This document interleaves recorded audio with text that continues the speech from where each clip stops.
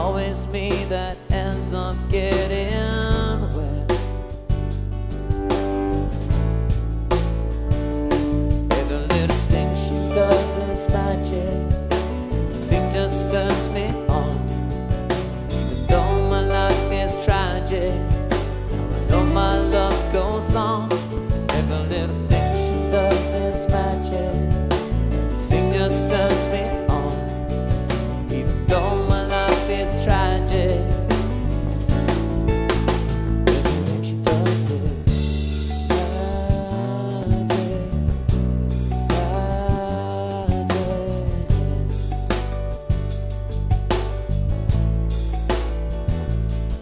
I've tried before to tell her the feelings I have for her in my heart.